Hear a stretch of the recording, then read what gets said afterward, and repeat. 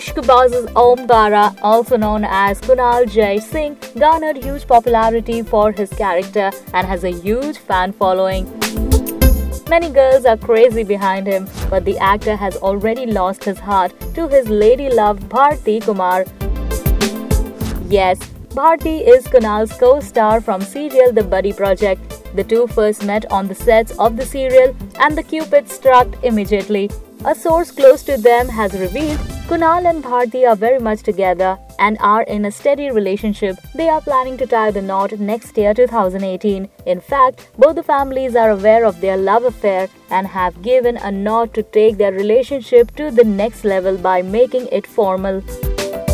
Well, we wish the two get hitched as soon as possible as we want to see Omkara as a groom in real life. So guys, what about you? Mention below.